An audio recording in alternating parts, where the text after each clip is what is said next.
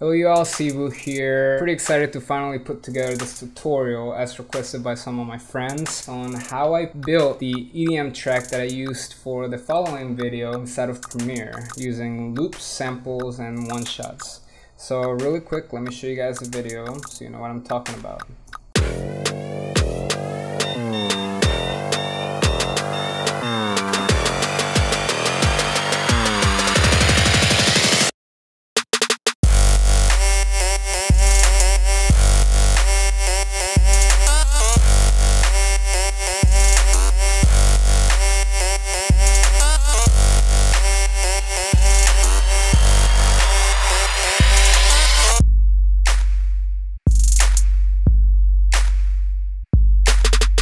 So quick background. Where I work, somebody mentioned that some of the music that I was using wasn't necessarily modern enough, but after I got over it, I decided to jump on Google and try to find some options. And I found a bunch of different websites that allowed me to even license music from real EDM artists, but it was incredibly expensive. Eventually, I ended up landing on this website, and it's called splice.com and what splice.com is, is a website where some EDM artists allow you to license and, and use their loops and samples from some other tracks. There's actually even some very popular EDM artists that license their loops and samples in here. So the website is fairly easy to use. It even has a plugin that, you know, once you download and install it, it gets added to your toolbars here up at the top. And it even creates a little folder on your Finder here where all your sounds and sample packs and loops get added and like a lot of websites you know you buy credits and then you are able to download the sample packs that you want came in here and on the search I ended up typing trap which eventually I ended up coming across this sample pack called Liquid Trap. It's actually kind of cool because you can even use this beat maker tool down here and with your keyboard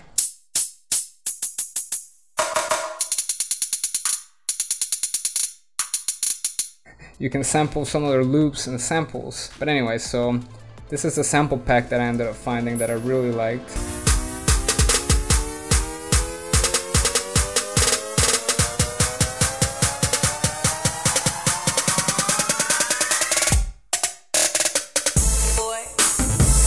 Anyway, and once I downloaded it, this is what it ends up looking like, and some of the samples that I liked are some of these. So yeah, you, you, guys can see some really great quality stuff. They're WAV files, so very high resolution audio samples. You want to make sure that all your assets are found in one place. And so I'm gonna copy it onto my project file, which Premiere, assets, audio, music. There you go. I'm just gonna paste it right there. And then inside of my Premiere folder, recreated that same sequence of folders. And then I'm just gonna Command I and I'm gonna import this entire folder from music. Let's import it in here. Alright, there you go. Now you have it.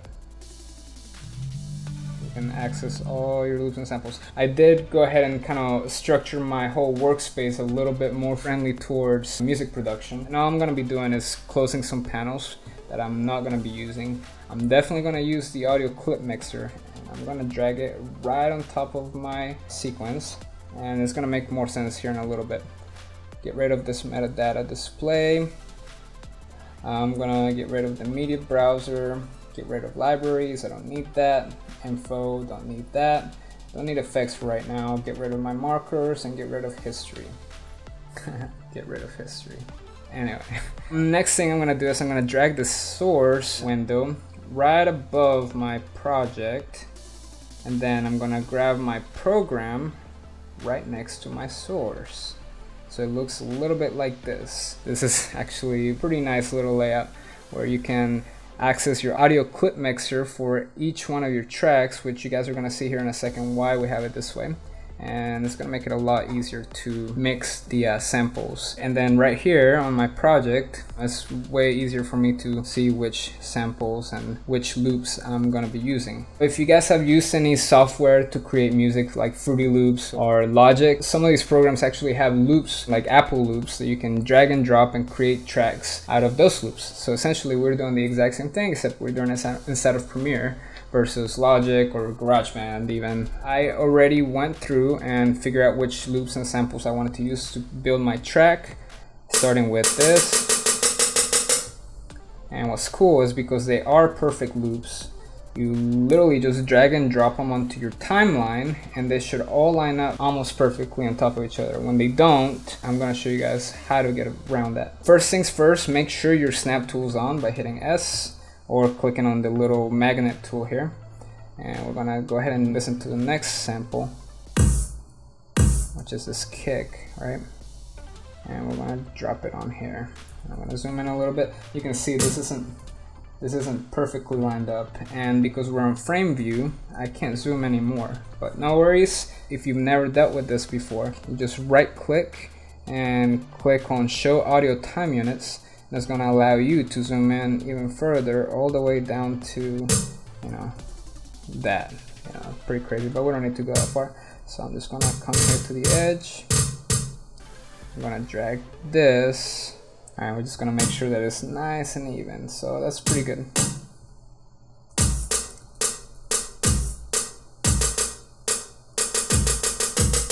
Alright, perfect. Here, let's listen to the next one. Alright, we're gonna drag and drop this guy right here.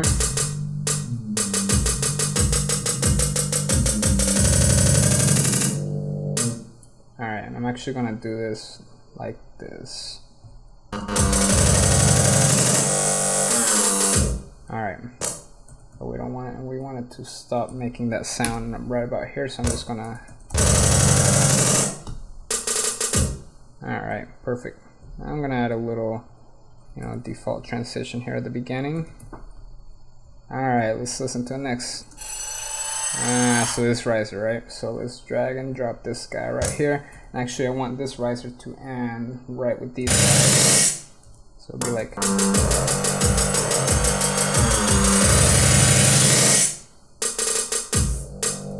Alright, next. Ah, let's drag this guy down.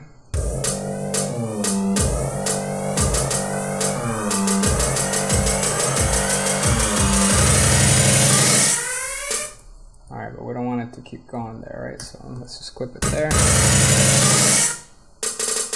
Could even end a little bit sooner, right?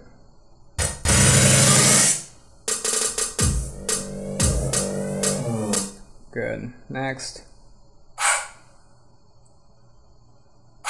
Alright, so these little chants. I knew that I wanted to make a 30 second track, so I put my in and out points around the 30 seconds and I gave myself a little bit of leeway here at the end so I can uh, move stuff around. And I added this to my program window, which creates a loop if as long as it's selected. And the way you do that is you just click on the little button editor and you find a little loop and you just drag it on here and then throw it on there and hit OK. And if you hit OK, like once it gets to the end, it will automatically loop. And it just makes it easier when you're building this track out. But anyway. So obviously that chant's way too loud, right? So A6 is the track and see this is why we have the audio clip mixer here. Instead of moving this around you know I can actually come in here and do it here. It makes it a little bit easier. That's actually not bad right there. Cool.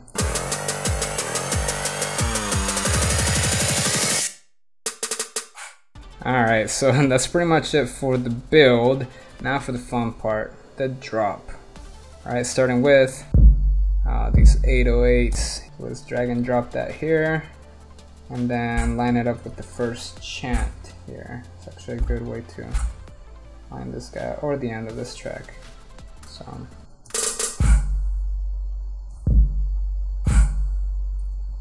and as you can see these 808 end before we get to the end of the track so really easy you just uh, hold option and drag and because they are perfect loops uh, it should line up fairly fairly easily right? So right to the end.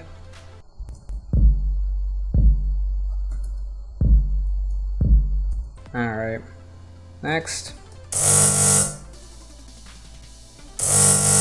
All right these little synth stabs.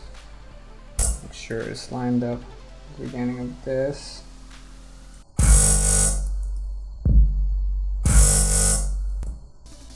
Seems like we gotta do the exact same thing here.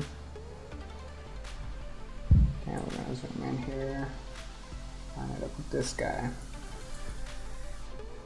Then let's check out the next.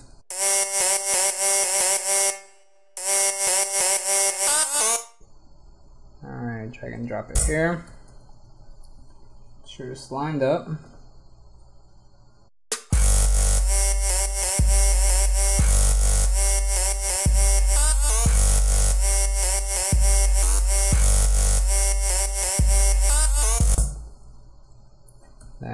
Guess we gotta do the same thing here.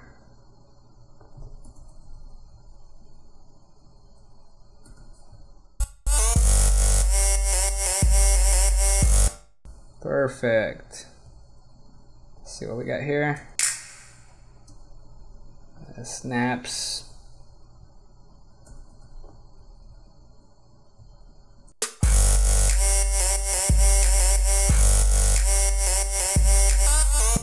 All right. And here's our trap hats. And let's just drop those in here. Again, make sure it's lined up. And as you can see, they end before they need to, so we're gonna do the same thing. Option drag.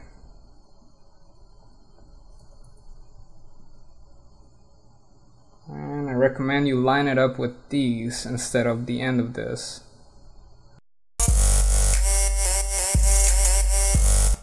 Yep, and then for the very last one,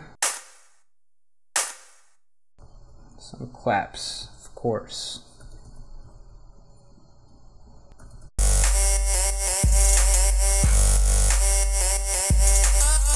Alright, option drag here, just to line these up.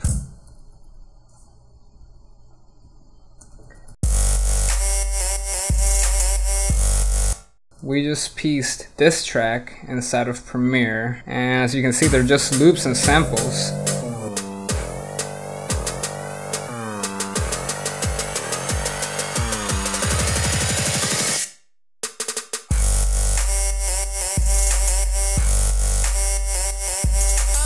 So I actually went ahead and did some tweaks and stuff to the track.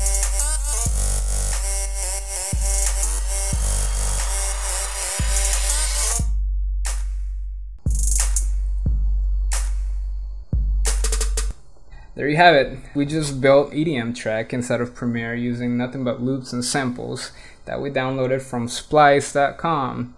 By no means am I saying that Premiere can replace Ableton or Logic or Pro Tools, but you know, if you're in a pinch and you don't know how to use any of those programs, you know, there are options and you can download some cool samples from a sample pack. Uh, it doesn't have to be just from Splice. There's a bunch of other websites but you can actually piece them together inside of Premiere. If you guys have any questions, feel free to reach out to me, like, share, and subscribe, or drop me any comments if you, you know, have any problems or whatnot. So until next time, hope this helps, and I guess I will see you guys. Peace.